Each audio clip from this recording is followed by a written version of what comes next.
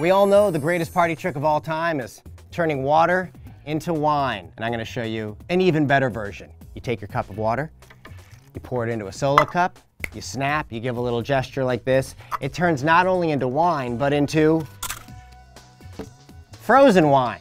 You're like Jesus and Iceman all in one. How do you do it? There's a trick to it, my friends.